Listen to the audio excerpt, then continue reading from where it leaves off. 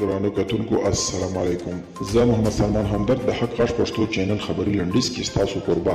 او ستاسو په امر اړوند د مهمو خبرونو لنډیز امریکایي چارواکو رسنۍ ته ویلي چې امریکایي ځواکونه له افغانستانه وتلي او تر ټولو ستره نظامي اډه هم افغان حکومت ته سپارلې ده خو له دغه هېواده د بهر د ځایپرځای شوو الوتکو په مرسته به د افغان ځواکونو په ملاتړ دوی د دوی بریدونه دوام کوي.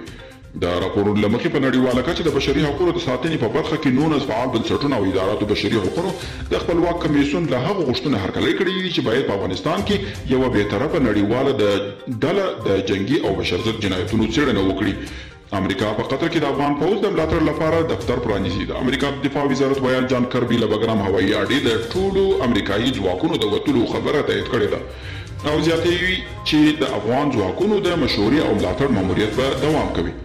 د امریکا ولسمشر جو بایډن وايي، ډاډه دی چې افغان مشران به وکولای شي چې خپل حکومت وساتي خو د نوموړي وايي اندېښنه یې دا ده چې دوی به له کورنیو ستونزو سره مخ وي او دوی باید وکولای شي د خپل حکومت د دوام لپاره د هېواد په کچه هغه ملاتړ خپل کړي چې ورته اړتیا لري او د عامې روغتیا سرپرست وزیر وحیدالله مجروح وايي د تور فنګس یا قارچ قارچ سیا ناروغي یوه وژونکې ناروغي ده چې پرمختللو روغتیايي مرکزونو کې یې له امله پنځه پنځوس سلنه ناروغان مړه کېږي.